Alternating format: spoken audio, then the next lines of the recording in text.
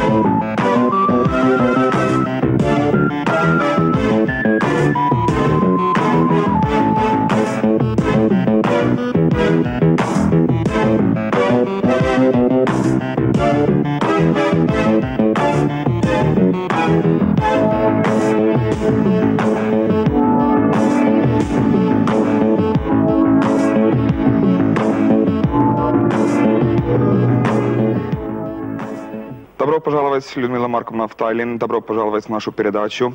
Это передача из нашей новой серии передач, но которая до сих пор, э, так сказать, условно называется «Телевизионное знакомство». И как вам нравится вообще это название? Телевизионное знакомство? Да. А что, хорошо. Ничего вроде, да? Здравствуйте. Телевизионное знакомство Тере. Да. Здравствуйте. И здесь будут э, представлены в течение этой серии самые такие яркие э, личности из разных профессий, которых э, наши телезрители знают именно по телевидению. Э, Кстати, как вы прилетели? Отлично, отлично. Несколько, полтора часа и здесь. Совсем другой жизни, климате и вообще атмосфере. Совсем другой. И я надеюсь, э, с э, хорошим настроением.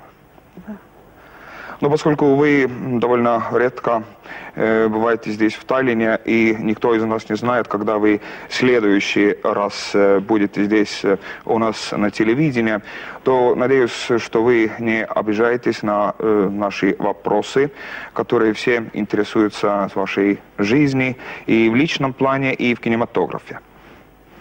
Нет, я не буду обижаться. Понятно. Э, ну что ж, начнем сначала.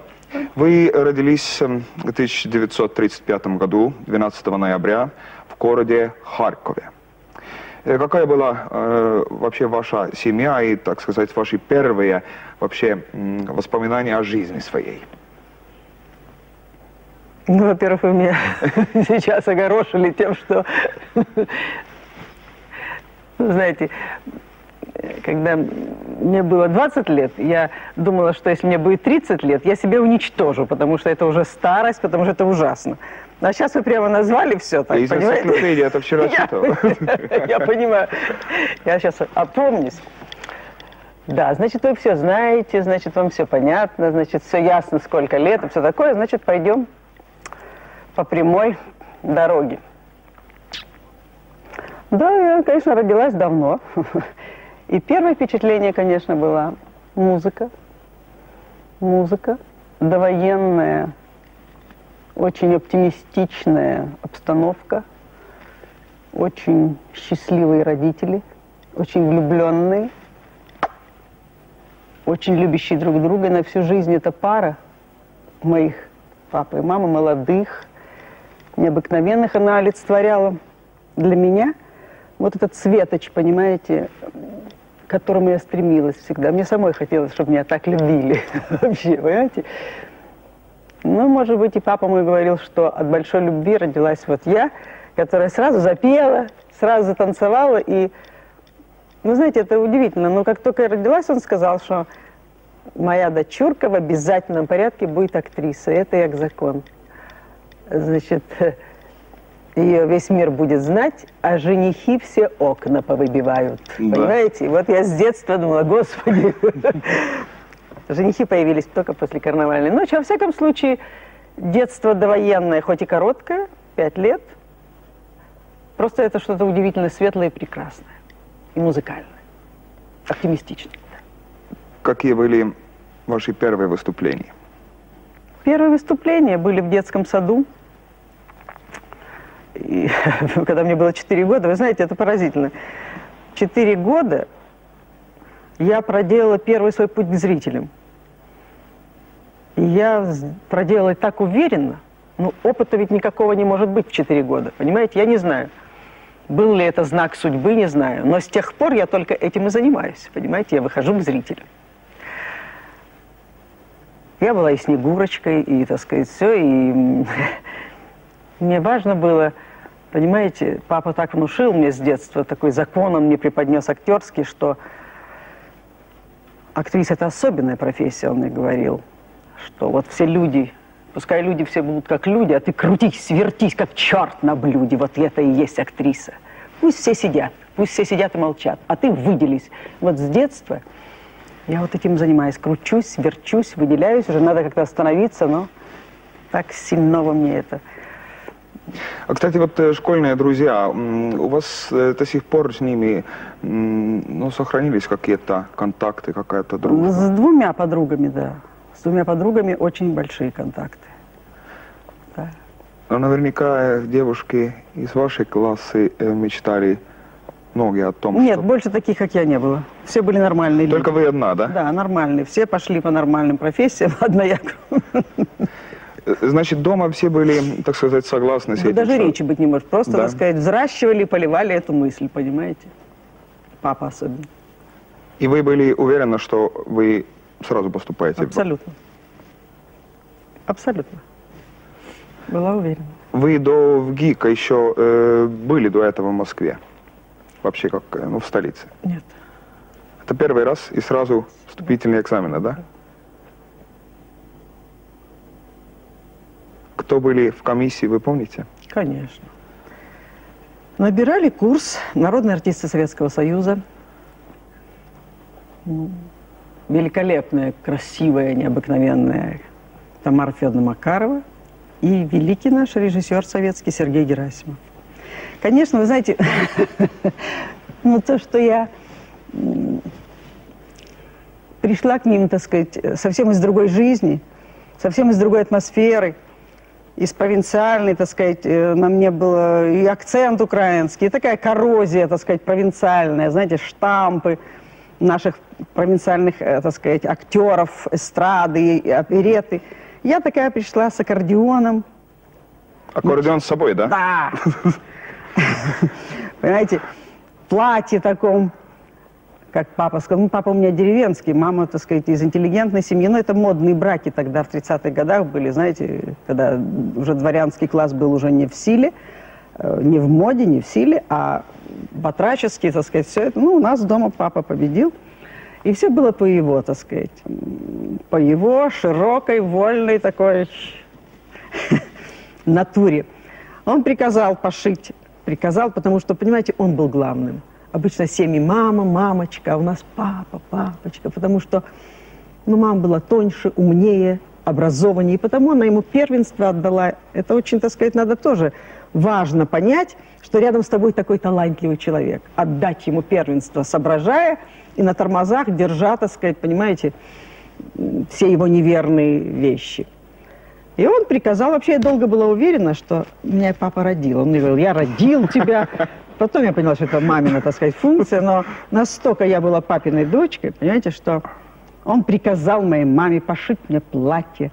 Такое платье, чтобы как войдет моя дочурка в народ, чтобы весь народ, хошь он того или не хошь, все головы повернули. Знаете, мне пошили, ну, тогда это просто вырви глаз была такой модная ткань китайская, значит, э, зеленая с красными розами. Тут красный бант, здесь красный бант и туфли тоже бульдогом-то нос, красные туфли с красными бантами. И, ну, в общем, я не знаю, это фантазия папина была в стиле мушкетеров времен кардинала Ришелье, что-то в этом духе, понимаете? И я в таком виде, да, с аккордеоном, как появилась в институте, вы знаете, головы не повернули, вы вернули головы, понимаете? У меня был такой успех, я была, думаю, господи, вот выделилась, вот это счастье. Иду, и, как говорил папа, света Божьего не вижу, понимаете, от счастья. Но, конечно, попала в атмосферу совсем другую. Совсем другую. Герасимов. Это же фильмы «Комсомоль семеро смелых», там «Молодая гвардия», «Тихий дон», «Журналист», mm. «Любить человека», «У озера», значит, Лев Толстой, ну куда же? И я вдруг совершенно э, из другой оперы. И вот, понимаете, я не знаю, мне кажется, что здесь, конечно, это большой талант человека увидеть увидеть то, чего он сам в себе не подозревает, понимаете? Вот Герасимов как-то сумел сквозь эту всю мою, э, так сказать, эклектичную, пеструю, так сказать, внешность и оболочку увидеть туда, проникнуть, что там что-то есть, то, чего я в себе не ожидал. Ну и, вы знаете, с первого курса я начала в атмосферу входить этой драматической Герасимовской школы, реалистической. Герасим ведь у него 8 выпусков после «Молодой гвардии» это все – в каждом выпуске есть замечательные актеры. Что вы читали? Какие произведения или какие-то песни там?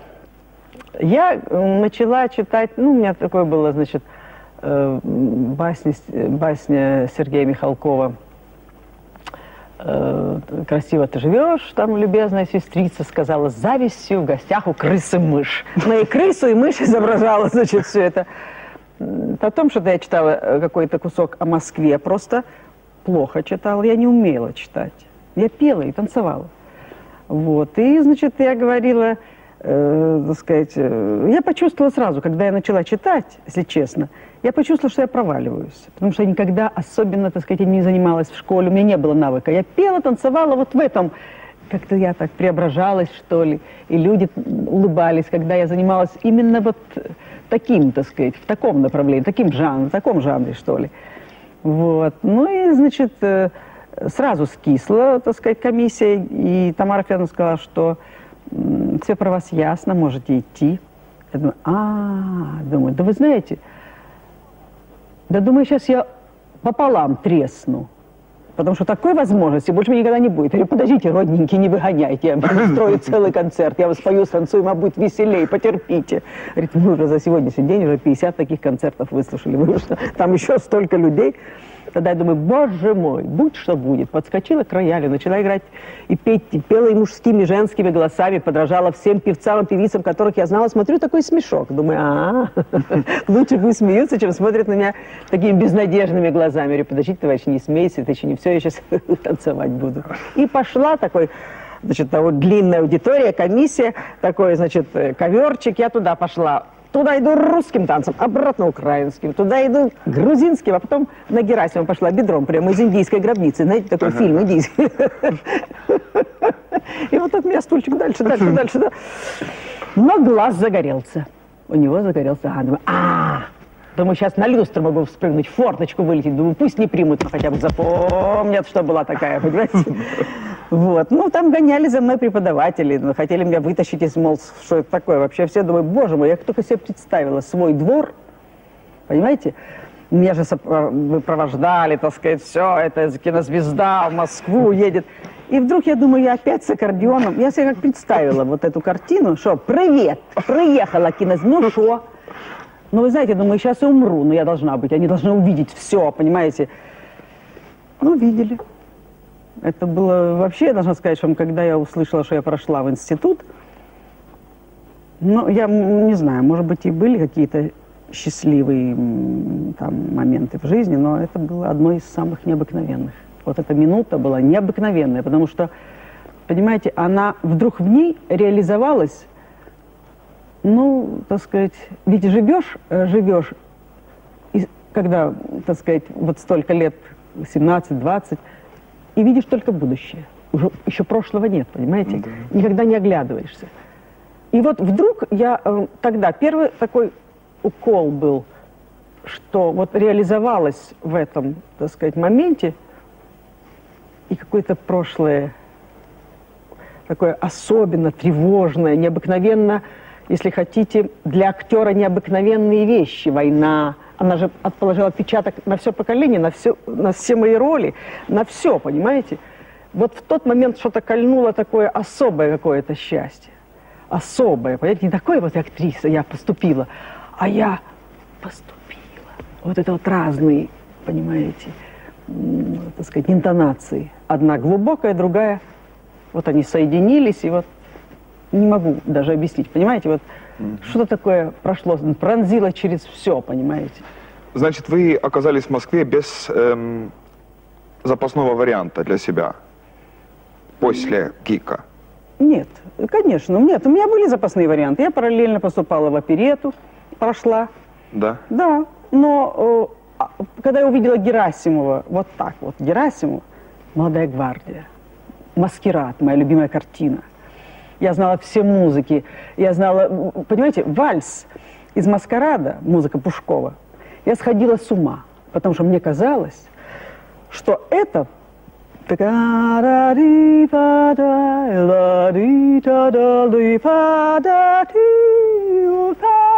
вот эта вот нота мне вот щемила, понимаете? Это я была ребенком.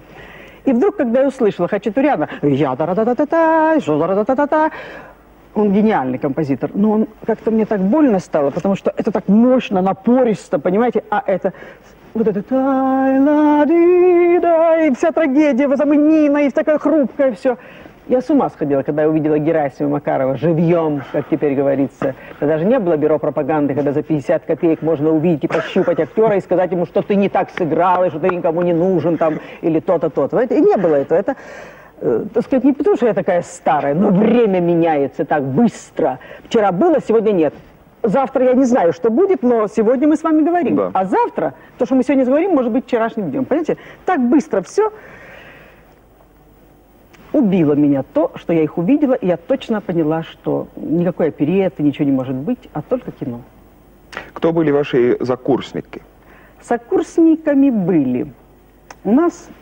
А, если кто-то хочет быть актером, давайте выпьем чаю Да. перед этим, потому что это очень грустный момент. Вы без сахара? Я уже положила. А, понятно. Дело в том, что у нас училось 15 человек на курсе, набрали. 15 человек, из которых в кино, из тех, которых набрали в самом начале, укрепилось только двое. Зина Кириенко и я. Потом на четвертый курс, э, курс из Харькова пришла к нам Наташа Фатеева, но она потом из Харьковска перевелась, потому с самого начала ее не набирали. Ну, три человека, допустим, так. Судьба сложилась очень по-разному. И это, конечно, очень грустно, потому что, имея образование и имея, так сказать, способности, люди не, реализов- не реализовали себя. Ну, их не реализовали, как это, так сказать, не получилось. Это очень трагичная история. Потому, конечно, в кино это, я даже не знаю, что случай, талант, все вместе, что это такое. Не знаю, очень больно мне видеть моих сокурсников. Я их очень люблю. Потому, знаете, у меня такая мысль была, я даже выступала на съезде, на предыдущем съезде, м, говорила о том, что, может быть, не надо набирать 15 человек, может быть, брать 4, 5, трое даже. Нет, нечего сказать, не говори, некого взять, не бери. Но взять таких полноценных, проверенных, то есть жестокая вещь, жестокая профессия с тобой. Ты же потом несчастный человек. Значит, если ты я так думаю, если ты идешь на, так сказать, учиться актером быть, сгорать дотла, так сказать, отдавать себя, не жалеть ничего, не ждать ничего, понимаете? И знать, что это прежде всего удар, синяки, щепки, ты разбит, и что тебе никто не поможет, потому что, ну, извините, как тут можно помочь? Ну, можно, так сказать, помочь, если, так сказать, режиссер, близкий человек, или я не знаю. Ну, мне это не, не я не знаю этого, мне это не знакомо. Я считаю, что только надо сильным быть, быть сильным, сильным внутри, сильным, так сказать, э, от того, что вокруг понимаешь ситуацию. Там масса вещей, локаторов, которые надо ловить, и интуиция, интуицией понимать брать трех-четырех человек, им отдавать все часы, часы, которые отдаются 15. Ну, чтобы он умел петь, танцевать, двигаться, ходить по проволоке, быть драматическим актером. Пусть это будет не красавица или не красавица. Сейчас же антигероев, так сказать, много, маленького роста, так сказать. Все это уже нет этих, э, таких, как вы. Спасибо. Нет, ну и потому что я, ну вы редко, так сказать, таких уже не встретишь, да, извините, конечно. Вот, ну, понимаете, это удивительная вещь, удивительная. Как говорится в песне «Ах, актерская судьба». Да, да, не знаю. Вот Зина Кириенко, она очень интересная актриса, с самого начала была с самого начала. Э, кстати, потом, если у вас уже с Керасимовым и с Макаровой были такие ну, коллегиальные отношения, они вам говорили о своих впечатлениях, первых впечатлениях о молодой Гурченко? Вы знаете, вот это сложный вопрос, потому что так э, фильм «Карнавальная ночь» так внезапно появился, он так, он долго был Сценарий долго пылился, так сказать, в ящиках студии. Тогда был художественным руководителем студии Иван Александрович Пырев, великий режиссер и великий продюсер, потому что он нюхом чувствовал, где талант, так сказать, и очень болел за кино. Не за себя, а за кино вообще. И вот он увидел и Рязанова, так сказать, он его, и меня, так сказать, хотя уже снималась, я кинопробы не прошла, и снималась другая актриса, там, неважно. Как вам сказать, как они ко мне относились? Когда вышла, они знали, что я человек способный, так сказать, может быть, и талантливый, не знаю. Так я чувствовала, с огромной симпатией. Но настолько было время такое, когда моя внешность была не в стиле времени, ну что мне делать? Я была так сказать, такой вот, понимаете, непонятно, что мне делать было, куда меня пристроить. А музыкальных картин не было вообще. То есть э, они вымерли, понимаете, совсем другие картины были. И что мне было делать? Играть драматическую роль? Ну, разве можно рядом с Зиной Кириенко и я? Она такая героиня, а я такая, как папа говорил, штрычка такая. Ну, понимаете, не... Очень сложно было. Время было, так сказать, сложное для того, чтобы меня найти, чтобы сразу, вот она будет играть эту роль. Нет. И вдруг, это вот бывает судьба, вдруг, я не знаю. Ну вот, карнавальная ночь, во всяком случае. Э, и то, что Пырев меня увидел, и то, что он понял, что там, так сказать, тоже, так сказать, что-то что можно сделать. Моя такая экстравагантность на те года, большая голова, тонкая талия, тонкие ноги, что-то какая-то не, ну, аномалия, я бы сказала, во внешности, которая и привлекала, и удивляла, и, так сказать, Наверное, как я теперь, так сказать, понимаю. Ну и что вы там, если была одна модная нижняя юбка, я их три одевалась, чтобы не обратить на меня внимание, это невозможно. Я выделялась вовсю. Вот. И когда картина вышла, она ведь снималась очень скромно, без рекламы. Ее закрывали несколько раз. Почему? В силу, в силу ее сатиричности, новизны, революционности, в музыке, в джазе, во всем. Ну и вообще, так сказать, человек, который играет главную роль, э, Огурцов – так сказать, хоть он и исполняющий обязанности, так сказать, директора, но все-таки он в конце говорит о том, что в моем лице нашли дурака. Это, понимаете, это было тогда очень, так сказать, да и сейчас я думаю, что эта картина одна из лучших сатирических музыкальных картин. Да. Вне, и вдруг вот бывает так. И молодой Эльдар Рязанов, это его первая картина. И она взорвала просто, взорвала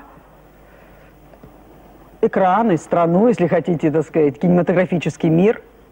И это, пожалуй, одна из немногих картин, где сошлись в пике и зрительские симпатии, и журналистские, и кинематографические. Обычно всегда же, так сказать, есть снобистские всякие вещи. А, сыса-сыса, подумаешь, это ерунда какая. А тут все сошлось. И я вдруг на курсе, это был третий курс, когда вышла картина, негаданно, неслыханно, на меня не делалась ставка, пока я еще оформлялась, еще третий курс, еще полтора года впереди, и вдруг бах, и я звезда. Так. Вечером я заснула в общежитии. Девочка из Харькова, понимаете? А на утро вышла, толпа стоит. Ну, так, э, фигурально выражаясь, так сказать. Вот. э, И пошла другая жизнь. Потому Сергей Аполлинарович и Тамара Федоровна, естественно, были не то что удивлены или поражены, они были, может быть, э, к быстрому моему, так сказать, я сама определилась. Вот я сама определилась, понимаете? И об этом, и, а играла я на курсе уже драматические роли. Но о том, чтобы после карнавальной ночи сыграть драматическую роль, об этом речи быть не могло после, так сказать, этой картины. Ну, понимаете, все. Это было... Людмила Марковна, Да. «Карнавальная ночь» — это не первая картинка э, вашей карьере. Ну, там были две небольшие роли, такие, ну, как мы все пробовали свои силы в маленьких ролях. Э, Это средние картины были «Сердце бьется вновь» и «Дорога правды», где Тамара Федоровна играла главную роль, а мы маленькие там. А вы еще помните вот э, того первого звонка из студии? Нет, у меня не было звонков. Не было Я звонков. жила в общежитии, и Тамара Федоровна, снимаясь в фильме «Дорога правды», сказала, что э, вот, э, Люся, поедем со мной в Ленинград, и там есть роль небольшая агитатора, которую также зовут Люся. Агитатора, да? Агитатора. Мне было 18 лет э, вообще. И там какая-то актриса начала сниматься, ну что такое, там не знаю даже, не знаю какая. Пойдем, поедем, ты, это твое дело, ты сделаешь.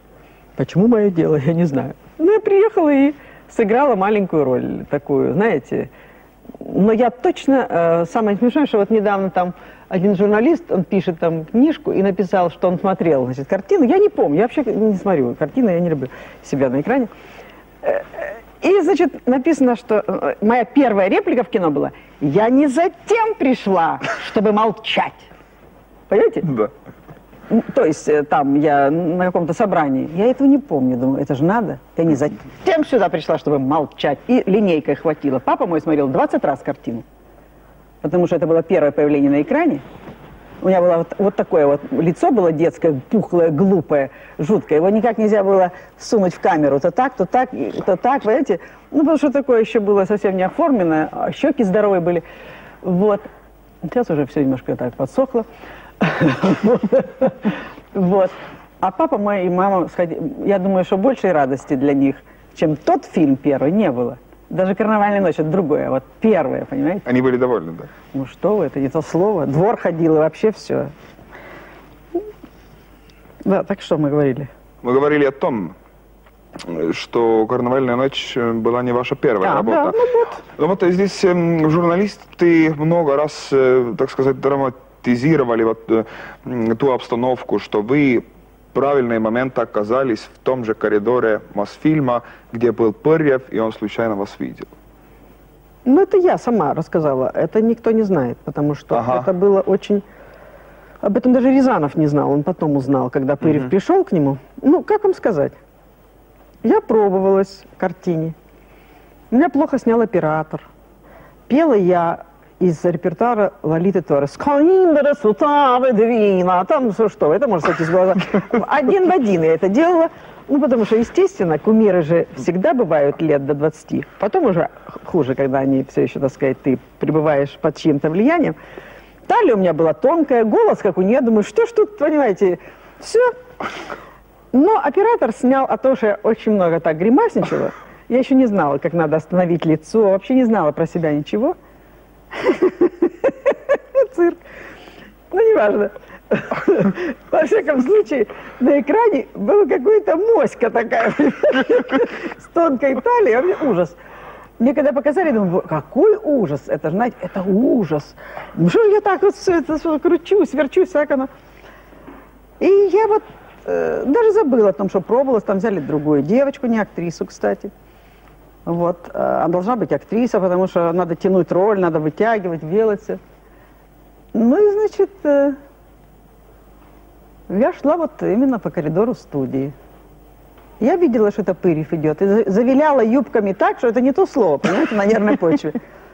И он, когда увидел издали, он дум... я так понимаю, что, знаете, это так, а это что такое?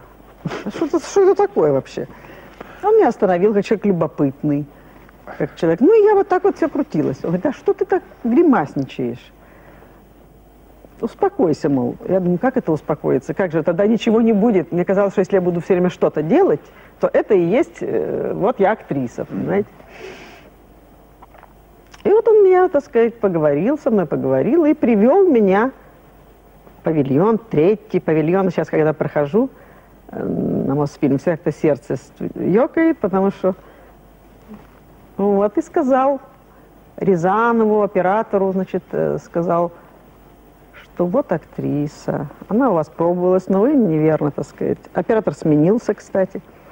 Вот, и он сказал, что оденьте ее, загримируйте, причешите и успокойте, главное. И будет вам человек. Я запомнила всю жизнь «Успокойте». И Рязанов э, что сказал? Он согласился? Вы знаете, он же первую картину снимал. Я не знаю, согласился он или нет, но это было равносильно приказу. Потому да. что Пырьев, ну, он был молодой человек, Эльдар, потому, ну, может, ему и не хотелось, я не знаю, я не думаю. Он не любил меня, так сказать, на картине, как бы сказать. Он ко мне хорошо относился, но не, не думаю, что я ему очень нравилась. Э, что случилось в вашей э, личной жизни после карнавальной ночи? О, в каком смысле? В личной что? Популярности или в личной вы имеете в виду уже поближе? Да, вот это я имею в виду. Ну, как вы, вы стали сразу суперзвездой. Да, ну да, так что? Вы были молодая. В смысле, я замужем? Не замужем, да-да-да. Ах, вот про да, этого, ну, да. ну так вы же так и говорите. Вы знаете, во время карнавальной ночи я была безумно влюблена, вообще я влюблялась часто. Влюблялась на, на всех этажах института. Честное слово. В детстве, в киногероев, там вообще, ну, подвержена этому. Ничего не сделаешь, нормальные люди, так сказать. Мне нравились такие вот всегда высокие, черные мужчины, красивые, с зубами белыми. С усиками. С усиками обязательно, чтобы все это такое. Сейчас уже это такие не нравятся. Все, это уже кончено.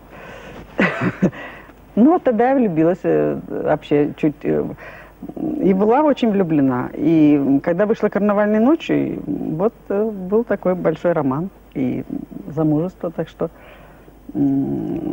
там все, что говорят, ничего подобного. Там мне и приписывали Ильинского, это так смешно, и Ильинского, и Рознера, и, боже мой, и Юру Белова, и Рязанова, я не знаю, что.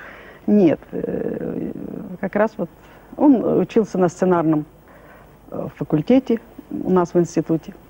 Вот. Очень красивый, очень совершенный, умный, тонкий. И то, чего мне не хватало, так сказать, все было в этом человеке. Может быть, потому я, так сказать, всегда так вот стремилась с детства именно вот. То есть я влюбилась в то, о чем мечтала с детства, вот так. Карнавальная ночь. Эта картинка что? Это ваше, ваше счастье или это где-то и, и, и беда? Знаете, это палка двух концов. Это очень сложный вопрос, потому что если бы не эта картина, неизвестно бы, как сложилась моя жизнь. Но и эта картина очень сильно на первых порах очень, так сказать, это счастье для актера, когда актер говорит, что а, я не хочу быть популярным, это ерунда, узнают, это ерунда. Актер, ты на виду, если ты на виду, уж извини, если тебя не узнают, значит плохо. Если тебя не знают, плохо, надо так говорить. Эм, правду. И, конечно, я была счастлива, что меня узнали с первой большой роли, что это даже, ну, это свершилась мечта. А с другой стороны, то, что я не была к этому как вот человек, как профессионал. Я не была с знаком равенством к той популярности, так сказать, понимаете, популярность переросла меня, переросла мои возможности. Понимаете? И это было несоответствие огромное с тем, что ожидали, и с тем, что я выходила. Понимаете? Во-первых, извините, микрофонов не было. Это сейчас все так сосал. Микрофонов нет. Я живу там в общежитии, потом комнату надо было снять.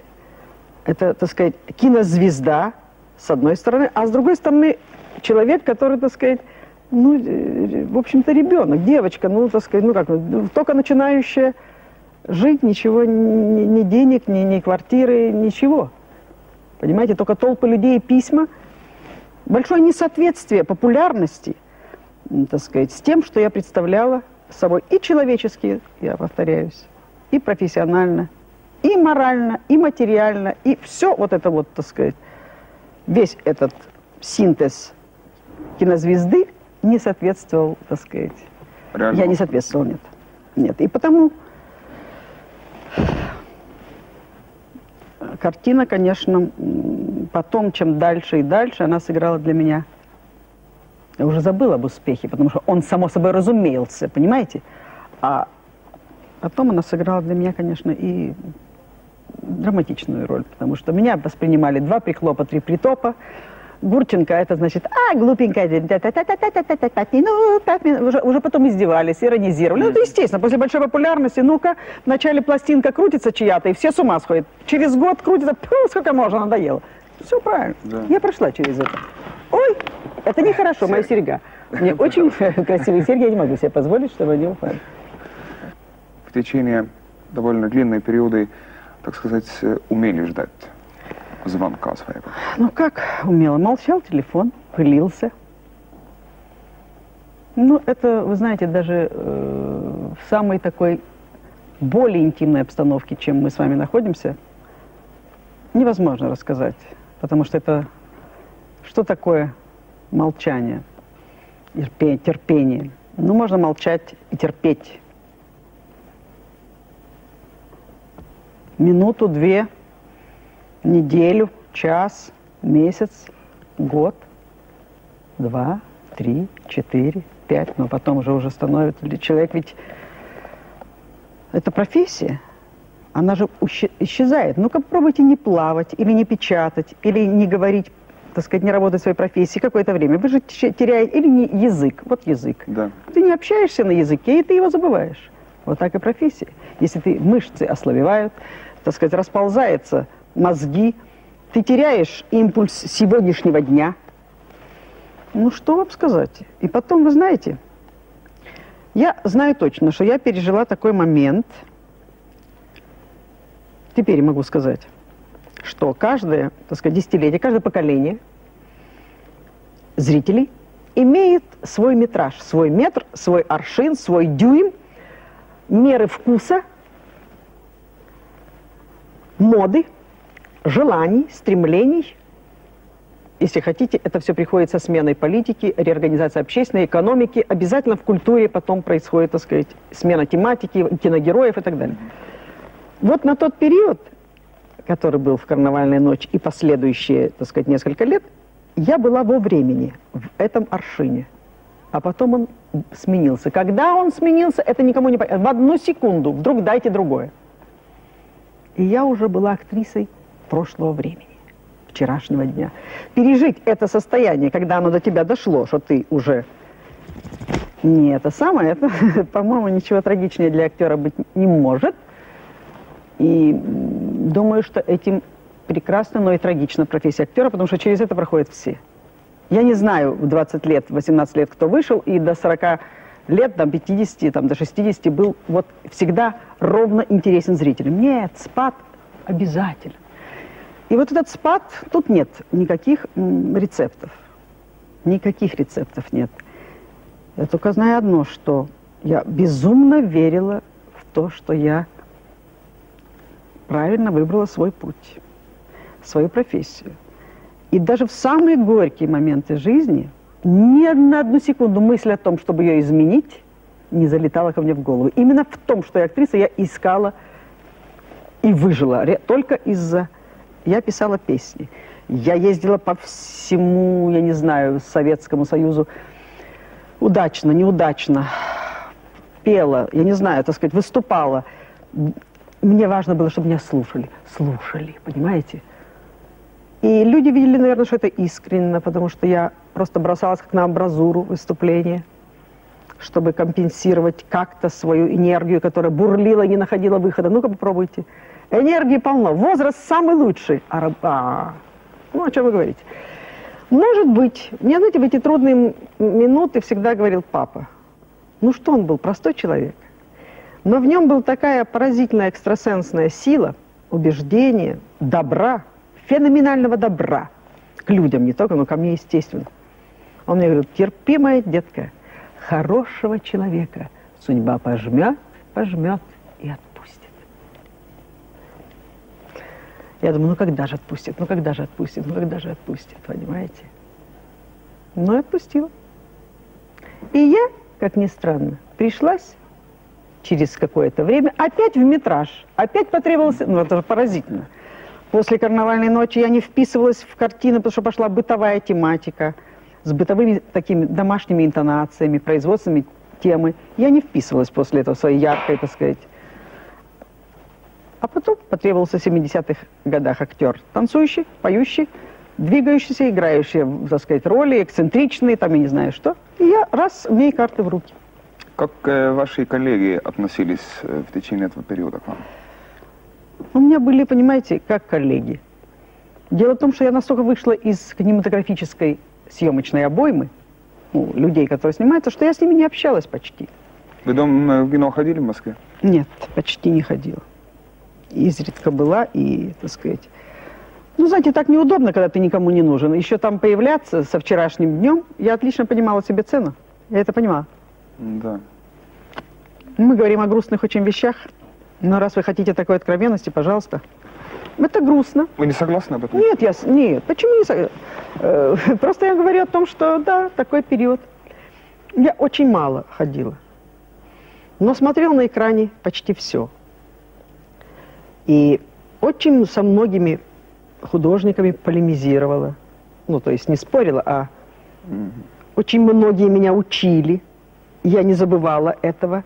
Я видела уровень. То есть у меня была самостоятельная стройка, так я понимаю. Понимаете? Я очень много и читала, и это, и, так сказать, у меня ежеминутно шла работа. Иногда, не снимаясь, вы знаете, и не работая, так сказать, вот так вот в театре, я до такой степени уставала от внутренней работы, внутренне, так сказать, мысль все время стучала, понимаете? Стучала все время, как там птица, воробей, я не знаю что. Понимаете? Все время, так сказать. Я не давала, э, видно, интуиция актерская, интуиция одна из вещей самых главных, не давала мне возможности расслабиться. Я никогда не курила, не пила, извините, никогда не знаю, что такое, так сказать, эй, Гуляй, Вася, Бога нет, потому что я знала, что мне нужно лицо, мне нужно, что я должна, когда-то это же будет. И вы не любите ни курящих, ни пьющих людей? Не, ну, знаете, как вам сказать, курящие, ну, я не очень люблю, когда это, вот, когда женщины курят, я не очень люблю, когда пахнет. Ну, ну, что делать? Ну, может быть, у меня плохой вкус, я не знаю. Но мне кажется, что это уже не модно. Одно время это было модно, вот. А э, пьющих я очень люблю, когда в меру и когда, так сказать, это прекрасно. То есть не пьющий человек – это не человек, не, так сказать, а чуть-чуть, эх, и тогда есть остроумие, красивый становится. Но когда э, перебор, это кто это любит? Никто. Я вообще поэтому очень многое ценю, так сказать, как пьет человек, как вообще, так сказать, все это. У вас большая семья? Семья у меня Папа умер в 73 году. Царство небесное. Мама у меня, которой будет 69 лет, молодая еще. А, значит, у меня муж, музыкант, собака и я. А дочка моя живет отдельно. Она замужем. Чем она занимается? Она медсестра. Медсестра? Скромная, я никогда не позволила, э, так сказать, если э, ей, ну как вам сказать, все удивляются этому. А я считаю, что Ничего в этом стыдного нет. Что если у нее был, а, есть у нее один большой дар – любить людей. Понимаете? Его надо было использовать мне или, так сказать, ей, так сказать, чтобы она или была с детьми, но не педагогом, а вот там Мгм. детский сад, там, или вот ухаживать. Ее безумно любят больные. Понимаете? От нее идет светло, она совсем не я. Ну, То есть ничего, как будто это не вообще, я не имею к этому никакого отношения. Вот. э, Внешность у нее такая интересная, она была, могла бы, если бы мне такую внешность, я перевернула бы мир, короче говоря. Да. Да. Но у нее нет другого, понимаете? Хотя она могла бы быть довольно средней актрисой, ну, лет до 28. А там уже, знаете, там уже, когда идет увядание внешнее, там это самое. Потому я, значит, э, жестоко поступила, убрала все с детства, убрала. Иллюзии. Как она запела, так пусть всегда будет солнце. Вот думаю, все, стоп. Голос, слуха нет, голоса нет, тихо, пошли на тормоза. Вот. Хотя мой папа ждал, так долго ждал, что а вдруг что-то там перерастет она, и вдруг ничего не перерастет. Это. Вот. Ну, и, значит, она вот медсестра. Скромная, милая, такая служащая. Никогда вот э, я не могу и не вещи свои. Она говорит, так, мамочка, мне не нужно, это твое. Я... Она другую носит скромные вещи, так сказать, все. Ну, не то, что у меня не скромные, но какие-то такие артистические, Мгм. там, я не знаю что. Все это ей не, не подходит. Она очень точно знает свое место. И я довольна. Я довольна тем, что... Ну, это ужасно, когда человек завышает себе цену. Она точно знает, это очень важно. Знать свое место в рабочем строю. Значит, ей даже не приходило в голову стать так красивой? Или были такие иллюзии? Нет, она прекрасно танцует, изумительно. Танцует, э, так сказать. э, в- ней есть шарм, все это, так сказать, все. Но это не то, чтобы вот так жить. Ну зачем, когда у нас очень много у актеров есть детей, и все говорят, ну вот твои папа, мама, да. О, а ты, э, ну это ужасно. Да, много примеров таких. Нет, это не. Нет. Нет. И вы хозяйка этой довольно большой семьи. Я не хозяйка, не знаю, я дома бываю, в общем, не так часто. Ну, ма- мама моя, в общем, так сказать, как-то так. э, Это, а я э, осуществляю э, такие важные пункты жизни, такие полководческие, знаете, а темные, так сказать, черные дела дома делают уже мои близкие. Что, не хватает на это? У вас эм, хорошие условия, в смысле квартира, все это. Да, сейчас у меня хорошая квартира, нормальная, хорошая, красивая мебель, о которой я мечтала в годы войны. Ну, видно, мне от мамы передалось, потому мама, так сказать, э, росла очень, ну, такой дворяне, они, так сказать, из голубых кровей, с дальними, так сказать, поколениями и так далее. Наверное, мне передалось, потому что я не знаю откуда. Но я с детства... Первое, в карнавальной ночи я купила на вторую зарплату, первую папу маме, а вторую купила, так сказать, тогда еще очень все дешево было, в- в комиссионном магазине, магазине Петровскую жерандоль. Все в бусиках, все это, она и сейчас у меня есть, и приперла ее в общежитие, понимаете? Так что с тех пор началось. И такая вот квартира у меня, у меня ничего нет современного. Вы придете в гости, я вас приглашаю. Но после карнавальной ночи вы три года были актрисой театра «Современник». С 63 по 66. Да. Да. Было Но какие были на- ваши надежды, если вы вступали Вы знаете, в труппу у меня от обилия свободного времени, обилия, Свободное время это ведь очень страшно, понимаете, когда, так сказать, еще возраст такой, когда очень много соблазнов.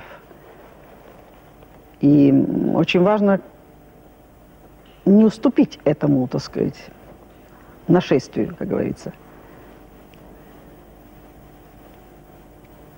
И время от времени вот какой-то тревожный сигнал, там, бил тревогу, понимаете, сигнал, что нужно как-то свой рабочий день организовать, то есть надо себя организовать. И вот это вот, пожалуй, наверное, как я теперь понимаю. Но мне понравился очень театр, я видела один спектакль, назначение очень понравился. Я думаю, тут мое место, вот тут. Все говорят нормальными, не то, послушай, Сергей, нет, ты прав сказал, что ты, это не может быть. И вдруг, э, я это не могу. И вдруг нормальные люди говорят вот так, вот Володинская пьеса. Думаю, о, это что-то мне близкое. Но это тогда была внешняя сторона, почему? А внутри, вот я вам говорю, мне нужно было организовать свой день, организовать свою жизнь, чтобы приходить вовремя, так сказать, чтобы надо, ну, так сказать, чтобы не то, что не надо, не вставать, ничего. Этим трагична профессия профессионала, актера, понимаете, кино. И я поступила в современник, меня приняли. Но я думаю, что, теперь я думаю, что в театре надо иметь свое место. Не единицу, на которую меня взяли, а свое место. Места у меня такого там не было. Я играла всякие роли, разнообразные, там, выходы, э, случайные, там, вводы срочные. Но так, чтобы я знала, что меня взяли вот на такую роль, и что вот это мое место, потому что если там пели и танцевали те, это может быть нескромно, которые этого не умеют делать. Ну, напевать все умеют. А я это сидела в хоре, значит, моего места там не было. И я очень многому научилась в театре. Очень много. Человечески мне это очень сильно закалило, и я видела там великолепные примеры работы и постро... выстроения, построения ролей у Табакова, так сказать, у Дорошиной, у Сергачева, Волчок, Евстигнеев. Это ну, блестящие артисты. И этому многому научилась. Но и потом сам вопрос отпал сам собой. Я вдруг раз, и вот, знаете как, созреваешь, там бац, и все. И ноги пошли мои не в театр, а главному режиссеру. Я подала заявление. Без, вот без причин. Просто я поняла, стоп. И я не знала, каким, но там где-то внутри я, наверное, что-то такое. Я иду своим путем. Какой мой путь, не знаю, но я иду своим путем. Что там мне подсказывало. Но этот путь уже для меня кончился, современник. И через три года я ушла. Но потом вы были еще актрисы на улице Воровского в театре. Ну, вот я и сейчас там. Я и сейчас вы, там. Вы да, но я не выхожу на сцену там. Там тоже, так сказать, все эти группировки, все сложности. Сложности, понимаете, в театре киноактеры люди изголодавшиеся по работе. И там по 8, по 4, по 5, по, по 6 составов. И все это так, это все очень сложно. Когда, не знаю, ну, тоже три срочные ввода сыграла и тоже ушла, потому что тихенько закрыла дверь с обратной стороны театра и ушла в кино, потому что работа подвинулась. И, в общем, с тех пор я все время снимаюсь. С 71 года. Как вам сейчас кажется, вы, в принципе, были готовы уже как, как, как, как актриса, как э, человек играть сразу такие ну, глубокие драматические роли после «Карнавальной ночи», или для этого требовалось и на самом деле какое-то время, какой-то период, чтобы просто иметь какой-то и жизненный опыт? Мне трудно это сказать. Наверное, нужно. Вообще обидно, когда говорят, что для того, чтобы сыграть такую роль, надо вот так вот пострадать. Mm-hmm. Понимаете? Ну, зачем же? Но, может быть, именно со мной так случилось, что мне нужно было так. Я не знаю. Во всяком случае, я пришла... Э, знаете, люди созревают в разный период жизни. В разные, ну, Одни быстро, одни... Я поняла, что я созрела, как человек, начала созревать в старых стенах, когда я не могла играть эту роль. То есть мне предложили, а я не знала, с чего начинать, потому что, видно, меня так занесло эти, так сказать, как называется, мои, ну, голубые там роли музыкальные, я не знаю, там эстрада, в мир иной, что когда я взяла роль директора текстильной фабрики, женщины, выросшей на фабрике, с корнями, ушедшей, так сказать, в землю, в рабочее, так сказать, сложное дело. Не, не такое, понимаете, эфемерную жизнь, а вот реальную, материальную, которую можно пощупать. Я подумала, почему же я так не могу это делать? Ведь папа и мама, люди, война, они люди, работающие, если нужно, и без выходных, для того, чтобы людям было весело, для того, чтобы они... Ну, так сказать, они энтузиасты, энтузиасты. Слово, которое все реже и реже, так сказать. Да, да, да. Думаю, что ж такое? Что ж со мной такое? И вот первый раз я обернулась к своим корням, к к папе, к маме, то я шла вперед и не оглядывалась, я вам говорила вначале. Да, да, да. И вдруг со мной случился какой-то огромный внутренний стресс. Стресс не стресс, невроз, а стресс, как молния, так сказать, пронзает, и вдруг думаешь, оп, стоп, так, что такое? Почему я смотрю назад? Я всегда смотрела вперед. Почему я оглядываюсь? А, меня развернуло, развернуло мое созревание. Развернуло, чтобы посмотреть, а что там за мной, откуда я, а кто я. И вот по кусочку, по кусочку, когда я стала себя нанизывать на то, что я есть, понимаете, я пришла к тому, что я могу спокойно сидеть вот так и говорить, да, а мне нужен план. Понимаете? Я не знаю, что такое план. Я, я, я далека от этого, понимаете? Мне нужен план, мне нужно, так сказать, чтобы вы работали, мне нужно, чтобы вы э, сделали, так сказать, сверх нормы. Там, такие вещи, я, это надо через себя пропустить. Я это не понимаю. Я никогда ничем не управляла, не командовала. Я не была э, вообще никаким лидером никогда в общественных делах. А потом думаю, что ж такое? Почему же я не могу вот это вот сделать? Через себя прошло масса вещей, масса. И прежде чем мне пришлось просто вот быть вот таким немножко усталым э, человеком, энтузиастом, отдающим не личной жизни, а всю себя отдающий работе, людям. И я эту роль, как вам сказать, ну, я ее прожила. А, но если вы видели, что это было, когда я приехала на пробу. Я приехала из другой жизни, тогда мода была, значит, ну, 73 год, мода, значит, эти э, платформы, да, Да, и вот такая вот э, коротенькая юбочка, и такая челка вот сюда, ничего, ну, так сказать, все. Ну, я не отставала никогда от моды. И когда я прилетела к режиссеру, а режиссер такой сибиряк, Виктор Иванович Трегубович, русский человек, он так на меня смотрел, но видел меня на кинопробах. Понимаете, у меня были на Ленфильме кинопробы «Салют, Мария», э, «Здравствуй, прощай», «Игрок», роли, э, монолог. Потом Снялись другие прекрасные актрисы в этих картинах, но у меня были, говорят, лучшая проба, но это не ее роль. Лучшая проба, но не ее роль. Что это значит? Ну да, проба, да, но всю картину не может она играть. Ну, Интересно. только на... Ну, интересно. Ну, не ее роль. Все-таки за мной какой-то карнавальная ночь. Да. Вот вам, пожалуйста, вы говорили, помогла или не помогла. Вот Да. она. Шлейф, тяжелый шлейф. Она уже превратилась в моего врага во второй, так сказать, период жизни, поскольку вы знаете, сколько мне лет. Я все думала сказать, что мне 28, да? Вот так. Ну и что вам сказать?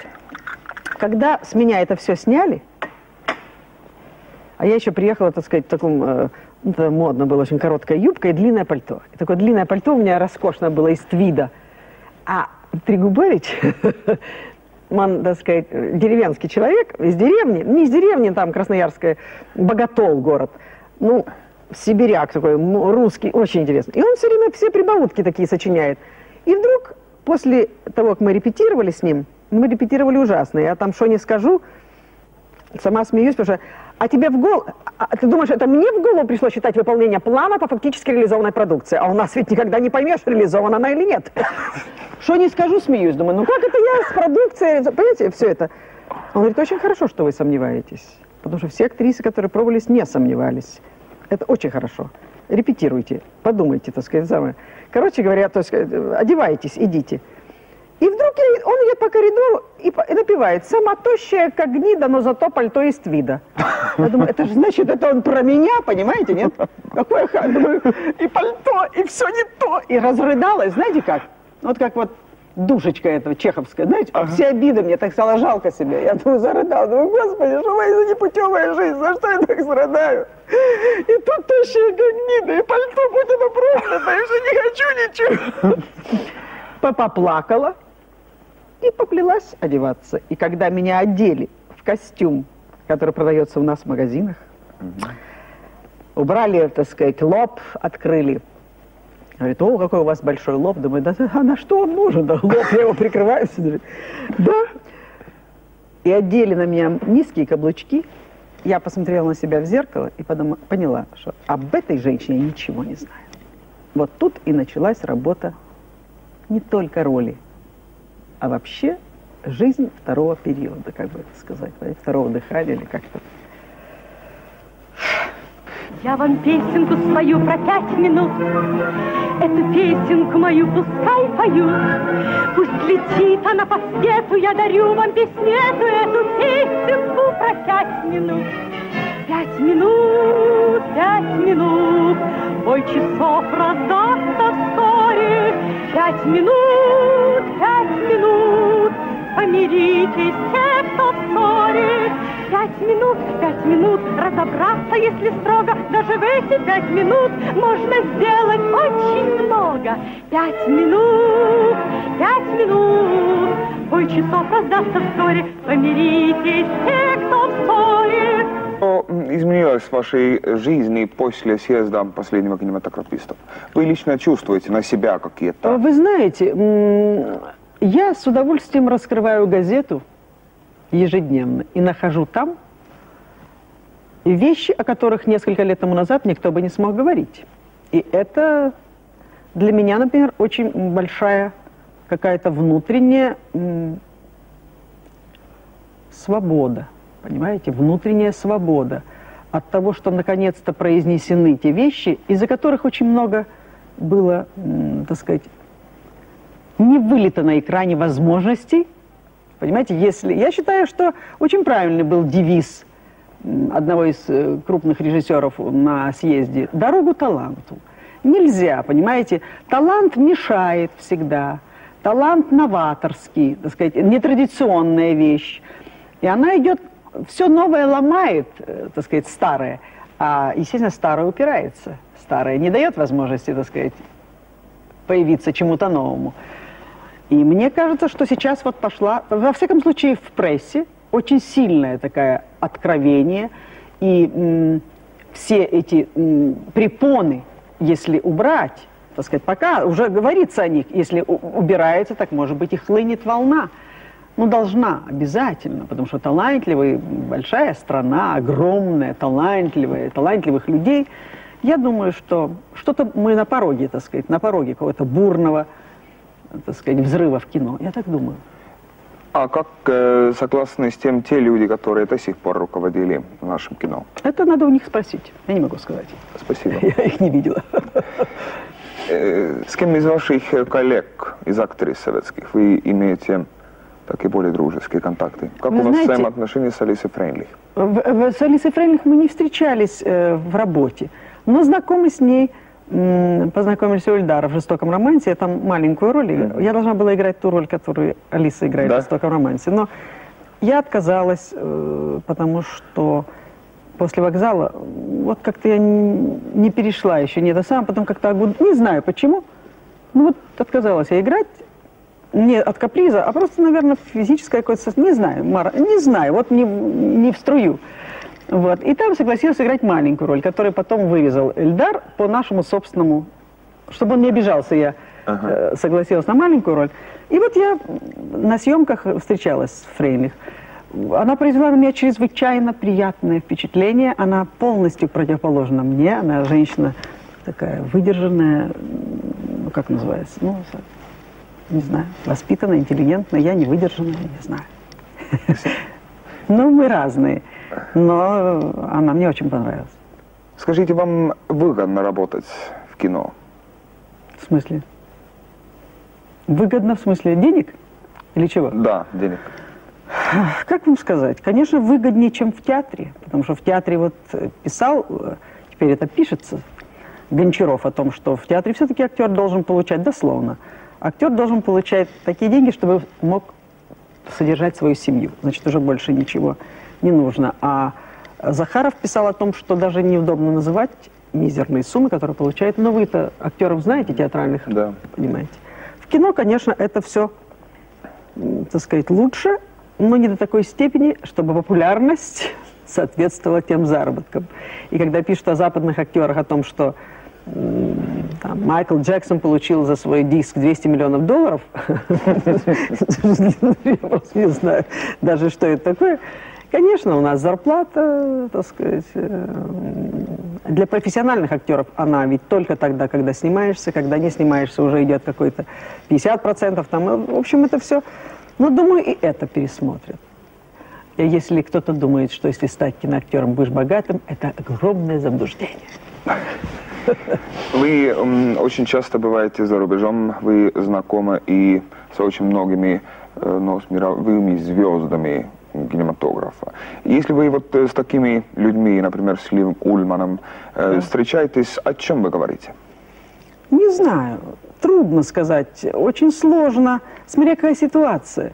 Есть ситуация светская, понимаете, когда просто «здравствуйте, очень приятно», и так тихенько рассматриваешь друг друга, присматриваешься. А когда близкая, она близкая может быть только в работе.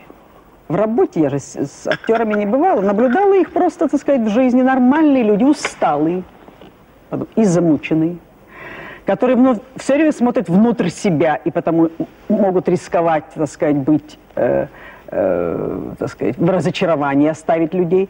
Рабочие, они рабочие люди. Я не знаю, это только на экране звезда. В жизни это рабочие, ну, как и мы. Очень похожи, но работают они на износ. Они получают свои деньги за предсмертные судороги на экране. Потому что играют, э, так сказать, они так, что, ну, халтуры нет. Там не может быть, пришел после спектаклика, сыграл и убежал. Не может быть. Там идет такая отдача, понимаете, после которой больница, после которой вот так. Вы имеете повседневный режим дня? Какие-то твердые законы? Нет. Нет. У вас есть э, своя диета? Никогда. Я кушать всегда хочу и сейчас. Вот э, хочу кушать. У нас обед еще Будет, да, я Да. уже жду. Нет, никакой. Я даже зарядки не делаю. Нет, у меня очень мало сил, честно говоря. И я их все экономлю на работу. Я никуда себе, ну, Какой рецепт вашей молодости? э, профессия моя. Если я э,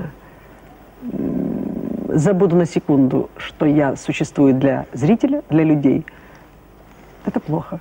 Потому что сразу уйдет этот стимул, и сразу можно, так сказать, как-то так. Нет. Я должна всегда нести с экрана импульс жизни, молодость, оптимизм. Для этого я пришла в профессию. Молодость, оптимизм, здоровье, хорошее настроение, улыбку, чтобы человек поверил в свои силы, чтобы... Вот для чего профессия. Ну и так будет всегда, до тех пор, пока я существую. Кто вас э, помогает в жизни? Например, кто ваш модельер? Видите ли, это еще один талант. Если бы я, так сказать, имела достаточную, так сказать, как называется, если у нас было частное предпринимательство, я бы открыла ателье. Это все мои личные фантазии. Вы сама шьете, да? Раньше, да. А теперь у меня есть э, женщина, которая очень хорошо может исполнять мои, так сказать, фантазии. Скажите нашим телезрителям, пожалуйста, э, сколько от вас требует эм, каждый день э, времени для того, чтобы ухаживать за себя? Я э, ухаживаю за собой только тогда, когда это нужно. Я не делаю никаких, как называется. Вот если я знала, что сегодня это сам, я себя приведу. А так я тихо-тихо собираю силы. Но у меня другой организм. Я, это не- я рецепта не могу дать, потому что я совсем вне, э, вне программы массовой, как называется. Понимаете, у меня мало здоровья. Э, а энергии мне нужно много отдавать. Я ее коплю. У меня совсем ну, по-другому я существую. Я не делаю, я не знаю. Я зимы боюсь, холода я боюсь, понимаете, я прячусь. Если я вижу в спорт, я вижу на лыжах, я уже накр- на- накрываюсь одеялом, понимаете? Ну, такой организм. Война, голод, холод, они сыграли свое. Понимаете? У вас э, дома в семейной жизни есть какие-то обязанности ходить в магазин или брачную куда-то? Нет, у меня этого нет, слава богу, потому что это же как пойдешь в магазин, так, ну что вы, тогда что же, что же за кинозвезда за сосисками в очереди? Ну, иногда и приходится так тихенько, очки оденешь, там это, а что ж, все приходится делать. Все, у меня нянек у нас нет, мама помогает, там все, но, ну, в общем, как все. Когда вы последний раз э, ездили в метро? В метро недавно машина сломалась, «Жигули». Жигули у вас? Да, пятая модель. Сломалась машина, аккумулятор сел. Так что тихенько в метро, я люблю в метро. Я люблю, мне интересно наблюдать за людьми. Так подсмотришь что-то, чего-то. Да. Вы, у вас бывает такое, что во время съемок вы э, влюблена партнеру или, или э, режиссеру, с кем вы... Вот, Обязательно. Потому я дома никому не отдаю уже последние годы совсем любви. Это ужасно. Потому что э, я очень должна... Я не хочу о партнере знать плохо. Когда что-то говорят о партнере, я сразу ухожу. Знаете, там гримеры, костюмеры могут что-то такое. Там, я сразу закрываю. Не хочу слышать, потому что он для меня должен быть и режиссер, и э, партнер, и партнерша. Это должен быть, я их должна обожать. Обязательно. Э, Кстати, очень многие люди э, думают до сих пор, что вы жена Элдара Рязанова. Боже сохрани, вот это вот такое глубокое убеждение. Во-первых, я не люблю толстых людей. Ну, как это объяснить? А во-вторых, мы с ним товарищи. У нас, то есть я, настолько я не в его вкусе, а он не в моем, мы просто друзья, товарищи. ну. Э? Если, допустим, у вас в Москве ну, будет такой вечер, что э, вам хочется себе домой пригласить какие-то гости из своих коллег, кого вы приглашаете? Ну, вы знаете, они сами приходят. Э, Без приглашения. Без приглашений.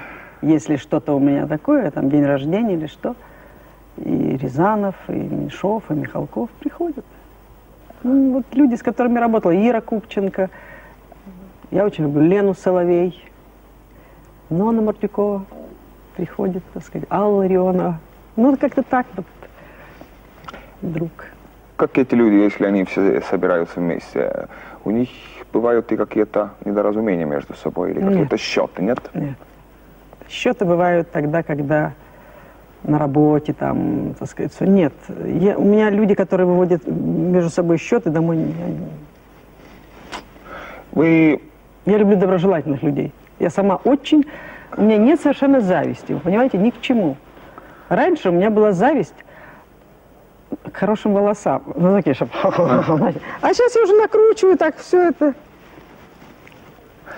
Как э, последнее время у вас, вы очень много работали в кинематографе, как живет певица Людмила Гурченко? Не знаю, трудно. Вы знаете, дело в том, что быть певицей, я, во-первых, не могу этого про себя сказать, надо этим заниматься постоянно.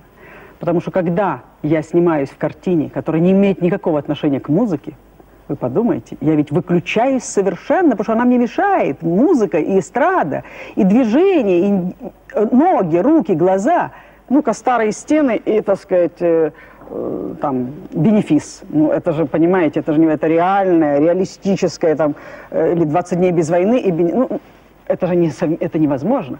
Потому, то есть меняется, знаете, такое болезнь ролью. Ролью болею, потому что я должна сыграть вас, ну, грубо говоря. Вы совсем другой, я совсем другая.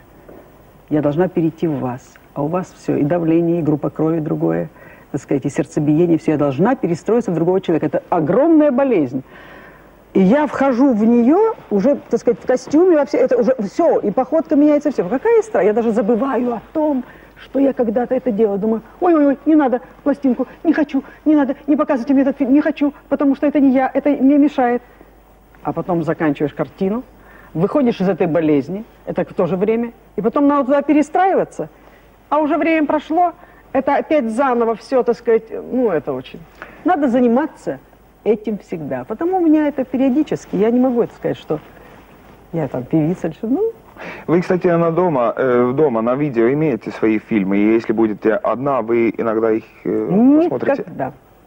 Честно? Ненавижу. Все что, свя... все, что вчерашний день, не люблю. Не люблю, что вчерашний день, и не люблю вообще, когда в повторе фильмы не смотрю. Вы себе вот уже сейчас, если вы работали несколько лет, довольно долго период в кинематографе, вы можете себя представить без популярности, без славы кинозвезды? Ну, вы знаете, я как никто это могу сделать. Я даже не хочу и не люблю, когда меня узнают. Сейчас. Мне не нравится ажиотаж. Мне тоже не нравится, потому что мое отношение к популярности и славе особенное, потому что я знаю, что такое и слава, и что такое полное забвение. И что такое, когда людям приносят цветы, актерам, а мне никто не приносит. А сейчас мне приносят цветы, а я помню в глазах то время, когда... Понимаете? Потому у меня совсем другое отношение уже к этим, так сказать, атрибутам славы. Совсем другое. Я знаю, что, что это может исчезнуть завтра. И потому я не хочу себя не, не приучать, не то, что не хочу, а у меня уже, так сказать, и само организм не приучается. Я хочу только работать только свое дело. Ничего не получает за это, понимаете? Угу. Потому что к этому привыкаешь. Это очень коварная вещь, когда оно раз и улетает.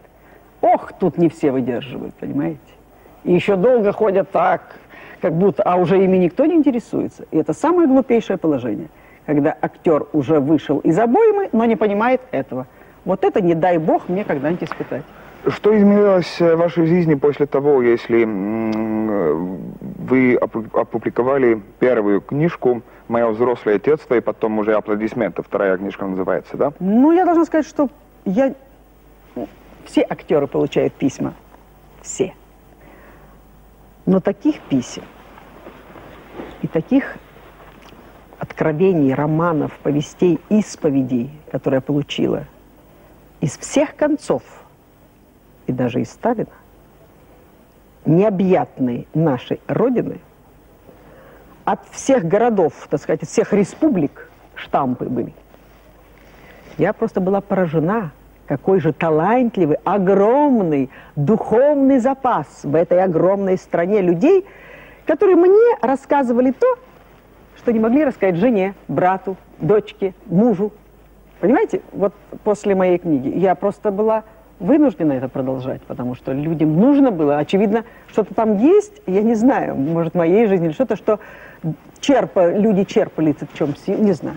Вы сама написали эту книжку или здесь есть помощь каких-то журналистов? Если вы со мной беседуете, и вы понимаете, что это, да. это так сказать, э, все настолько мое, что даже редактор, талантливые люди, не могли вставить ничего, а говорили, измените сами. Я все изменяла сама. А что-то вырезали тоже оттуда или нет? Ну, почти ничего. Почти ничего. Почти ничего нет. Если у вас э, дома бывают э, вот какие-то ссоры с мужем, э, какая это бывает э, тогда основа, знаете? Только творческая, понимаете, только творческая, потому что он музыкант, пианист.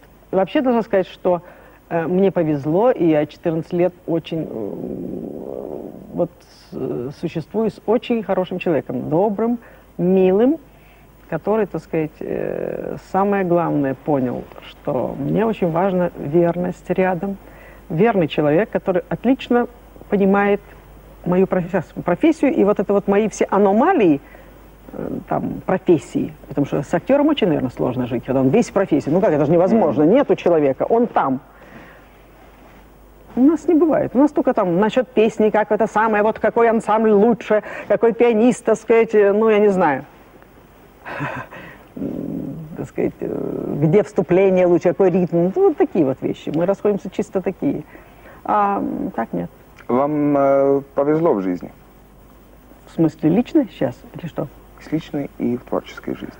Ну, я думаю, что и так, если суммировать, суммировать, то несмотря на все, так сказать, вещи, которые, не дай бог, никому пережить, я думаю, что говорят, что важен результат, да? Mm-hmm. Лучше поздно, чем никогда, и так далее, есть какие пословицы. Ну вот, во всяком случае, второй этап я э, своей жизни закончила, я бы сказала, второй этап.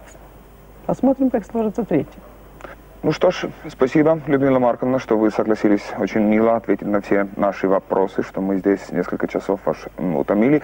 Наше знакомство с, с вами, кстати, личное знакомство, Э, первая наша встреча была полтора года назад в Москве у телецентра Постанкина, если мы тогда готовились к эстрадной программе Азбука эстрады. Вы помните да, это, да. да? Вы тогда отказались нам от интервью. Сейчас я только понимаю это. Тогда я страшно обиделся на вас и дал себе слово, что обязательно это интервью когда-то состоится. Спасибо, что вы... Но вы изменили, так сказать. Вы из... Вы же ко мне подошли, ничего не зная про меня. Мало зная. Я все знал. Нет. Нет, я сразу с двух слов поняла. Извините, может быть, я говорю не то. Но я вас отлично запомнил. Если вы думаете, что я вас не запомнил, вы ошибаетесь. Как только вы меня внизу встречали в, в аэропорту, я поняла, что это вы. Но уже по телефону вы были другой. И, может быть, я вас тоже чему-то научила. Может быть, тоже, так сказать. Потому что для того, чтобы встретиться с человеком, надо его любить. Надо все о нем знать. Надо его принимать. А вот теперь вы меня любите, теперь вы все про меня знаете, теперь вы меня не обидели, теперь вы не, со мной разговаривали очень, так сказать, душевно, тепло. Не просто мы хотели с вами встретиться, вот давайте самое. Нет, так не бывает. Потому что друг друга же ведь учим, да? Как вам сказать? Ну, учим не в такое плохое слово. Друг друга начинаем понимать. Спасибо, Людмила Марковна, что вы приехали. Спасибо большое. Я очень рад.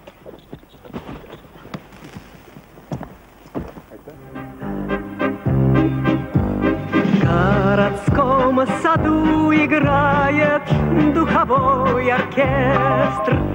На скамейке, где сидишь, ты нет свободных мест. От того ли, что пахнет липа или роса блестит, тебя такой красивой глаз не отвести.